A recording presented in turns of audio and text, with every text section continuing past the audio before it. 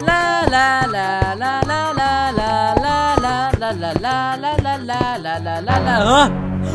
Trời ơi, bé Mưa và Simmy Nên cứu ai đây? Các bạn có 3 giây để quyết định đó Three, two, one, go! Được rồi, mình sẽ giải cứu bé Mưa à, à, à. Mưa ơi, em không sao chứ Bé Mưa có thể giải cứu Simmy nếu các bạn ấn đăng ký trong vòng 3 giây nữa tôi